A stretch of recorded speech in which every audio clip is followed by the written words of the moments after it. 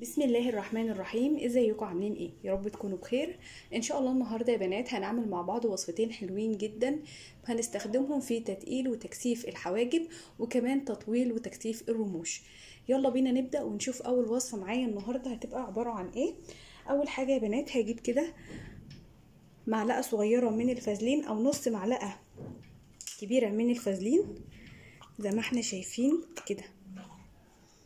بالشكل ده هضيف عليها معلقة من زيت جوز الهند.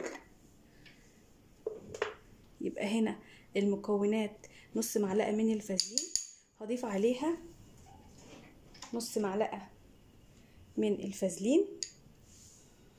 زي ما إحنا شايفين كده يا بنات. طبعا الفازلين بيبقى إيه قوامه تقيل شوية. فهاخده زي ما إحنا شايفين كده وهقلب المكونات دي جدا كده كويس جدا مع بعض لحد ما يندمجوا مع بعض زي ما إحنا شايفين بالشكل ده. طبعا الوصفة دي حلوة جدا في تحفيز نمو الشعر وكمان بتديكي كده لمعان للشعرية حلو جدا وبتقل الرموش وكمان بتطولها خلاص كده يا بنات هناخد المكونات دي نحفظها في علبة وبعد كده هتجيبي مسكرة تكون قديمة عندك تشطفيها كويس ونشفيها وكل يوم قبل ما تنامي هتاخدي من الوصفة دي تدهني بيها على الرموش. بس مش عندك جفون لا على طراطيف الرموش من فوق عشان عينيكي ما يجرالهاش حاجة. وكمان بتاخديها تمشيها على الحواجب يوميا. إن شاء الله خلال شهر هتشوفي نتيجة حلوة جدا. استمري عليها وهتشوفي نتائج تحفة. يلا بينا نبدأ ونشوف الوصفة التانية.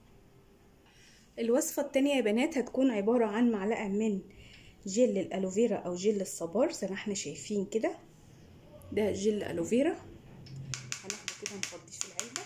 هضيف عليهم نص معلقة من زيت اللوز الحلو أو المر اللي موجود عندك لأن هما الاتنين حلوين جدا في تتقيل وتكثيف الحواجب والرموش أو كمان بيقوي بصيلة الشعر عامة وبيخليها تطول وتتقل بسرعة. فهناخد نص معلقة كده من زيت اللوز زي ما إحنا شايفين كده اقلبهم برضو كويس جدا مع بعض.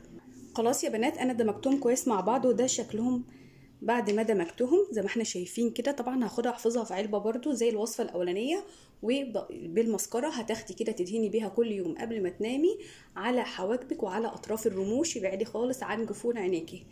إن شاء الله خلال شهر بالكتير هتلاقي تغير واضح في شكل الحواجب وكمان كثافتها ونعومتها وكذلك في تتقيل وتطويل الرموش. بتمنى الفيديو يعجبك. ما تنسيش تعملي لايك للفيديو وتشيريه لكل صحباتك.